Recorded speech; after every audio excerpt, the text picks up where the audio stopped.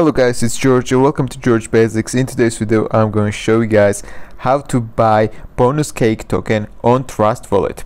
But before we start, please subscribe our channel because we need to reach 1000 subscribers as soon as possible to turn on the monetization. So let's go to our topic. Our topic is a bonus cake. Uh, we, before we start, please be aware that this is not financial advice, it's just video tutorial how to buy this new token before you invest money in this token please do a research on the internet and they and then make the decision. Because you may earn a lot of money or there's a risk you may lose all of your money. So please do a research and after that make the decision. So let's go to CoinMarketCap and check out this new token. Go to CoinMarketCap. Click the search bar. Type bonus cake which is here. Open this new token.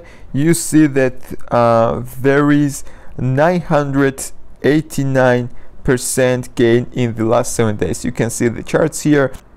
You can see the all of the statistics here. And there's a Binance Smart Chain address also now go to Trust Wallet if you don't have Trust Wallet you can download it from Google Play or Store for free.